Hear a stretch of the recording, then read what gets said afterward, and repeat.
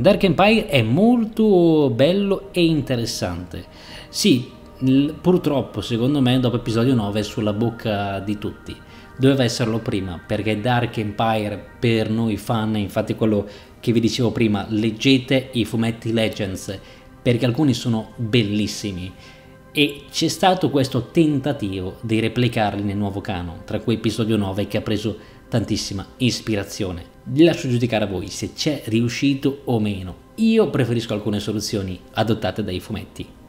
Mm, la, la buono, cioè come ho detto la Bad Batch mi è piaciuta perché è una nuova strizzata di occhio, non è la prima ma ne ha fatte altre agli Spartan della serie Halo.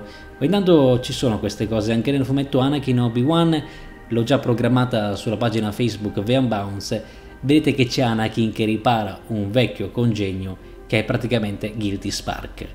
Quindi diciamo che negli ultimi anni la serie di Star Wars quando ha potuto ha strizzato l'occhio a Halo, come poi episodio 2 George Lucas lo strizza chiaramente a Matrix. C'è la scena proprio se fate caso e su Coruscant nel pub, quello che vende gli spaccacervelli è il ragazzo che si vede sulla i Matrix, quello che ha creato praticamente il programma pillola blu e pillola rossa. Infatti gli offre due droghe a Obi-Wan che sono pillola blu e pillola rossa. Inoltre la donna rossa di Matrix che guardava il prescelto Neo è lì che balla e guarda il prescelto Anakin Skywalker. Se, se guardate ci sono sempre stati quei richiami tra saghe anni 2000. Matrix, Star Wars, Halo, e a me piacciono tantissimo queste cose, questo rispetto di omaggiarsi, come poi Halo in altri modi ha omaggiato Star Wars. E allora Dam, parlando dell'universo espanso, chiede se la trilogia sequel avesse preso l'albero genealogico The Legends, quindi Luke sposato a Mara Jaden e con loro figlio per l'appunto Ben Skywalker, Obi-Wan dedicato al mentore che poi è diventato Ben Solo nella nuova trilogia, che in realtà anche Ben Solo è Jensen Solo, Darth Kaidos, qui Kylo Ren. Quindi la domanda è se seguendo l'albero genealogico avrebbero potuto renderlo più accattivante. Secondo me no, per il semplice fatto che non è l'albero genealogico a cambiare la struttura di un racconto, ma è come scrivi la sceneggiatura, come evolvi la trama più o meno hanno già preso quelle basi perché per l'appunto Ben Skywalker, figlio di Mara Jaden e Luke Skywalker, è Ben Solo.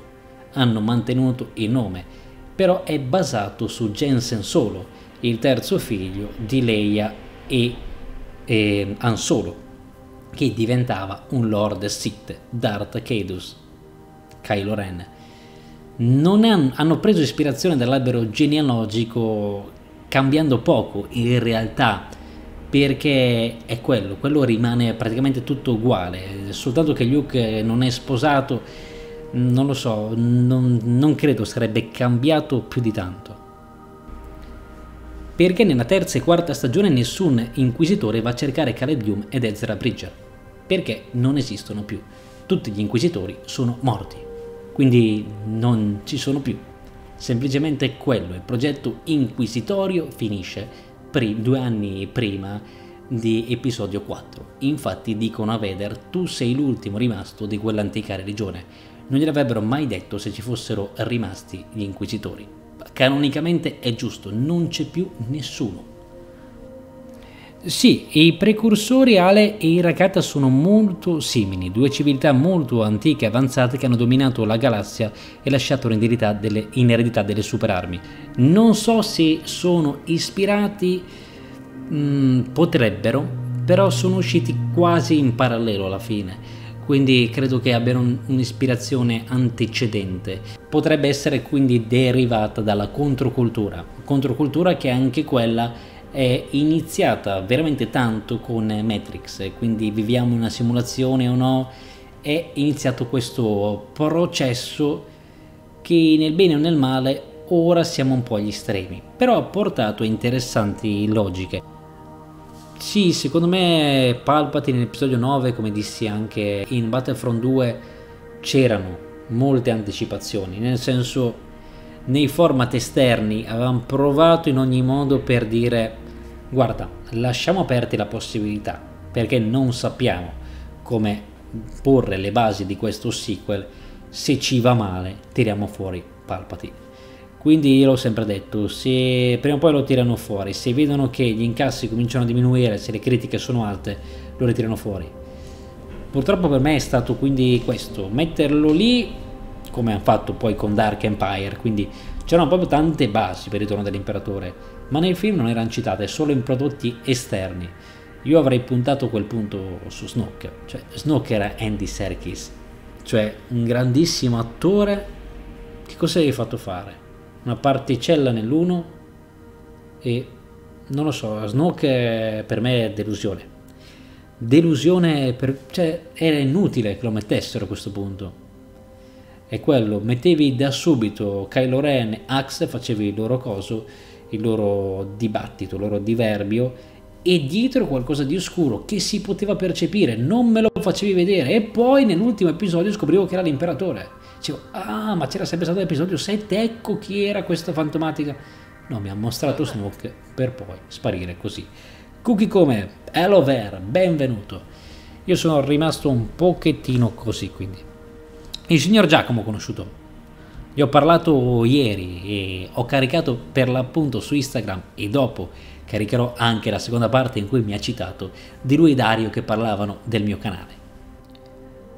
Alex, conosco quelli di Star Wars Libri and Comics, conosco Giorgio ma non di persona, gli avevo scritto ai tempi quando ancora i nostri progetti erano all'inizio per una collaborazione, poi purtroppo non ce l'ho fatta io, loro si stavano espandendo in un altro modo, quindi mi sono congratulato con loro per l'ottimo lavoro che svolgono, ho suggerito infatti spesso e suggerisco ancora nei commenti quando mi chiedono che libri posso leggere, uh, c'è una recensione su questo, consiglio sempre andate su Star Wars Libri and Comics che ne sanno tantissimo. Mi ero congratulato con lui sperando, gli ho detto di vederci a qualche fiera. Sono però dei grandissimi, io li seguo e anche su Instagram ci seguiamo. E loro, se volete, stanno portando avanti proprio questa questione della Mondadori che non ha più i diritti. Quindi io vi invito, se desiderate portare avanti o comunque prendere in mano questa campagna da qualcuno che in Italia abbia in mano Star Wars, eh, fumetti e libri, di vedere un po' cosa suggeriscono loro, che sono sicuramente più competenti di me. E intanto li saluto.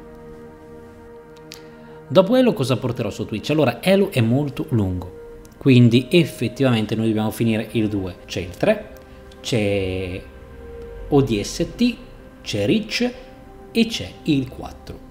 Quindi fino a dicembre noi siamo pieni. Nel frattempo faremo qualche altra magari vlog, porteremo qualcos'altro. Stavo pensando ad altre opere. Sicuramente a febbraio o marzo squadro, me lo chiedete in tanti, quindi l'obiettivo è farselo regalare al compleanno e portarvelo.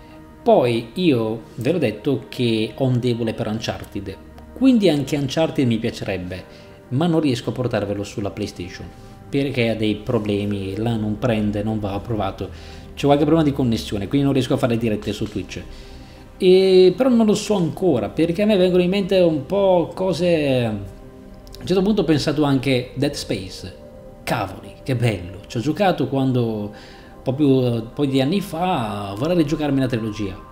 E però sono pensieri che vengono così e non lo so quindi se voi avete da suggerire anche lì ragazzi ditemi pure e così io sono super felice, nel senso che se voi mi dite guarda questo potrebbe essere buono, vorrei variare un po', ovvero Star Wars mi piace, però come vi ho detto sono più affezionato a Elo sotto alcuni punti di vista e io adoro la fantascienza in generale, non solo quella ma sono specializzato in fantascienza, Matrix, Elo, Dune, Star Wars, quindi penso di stare su quel ramo, fantascienza.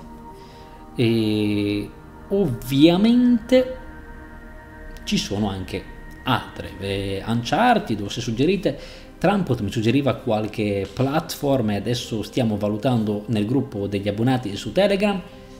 Vediamo, però se avete da suggerire ragazzi io sono aperto a suggerimenti.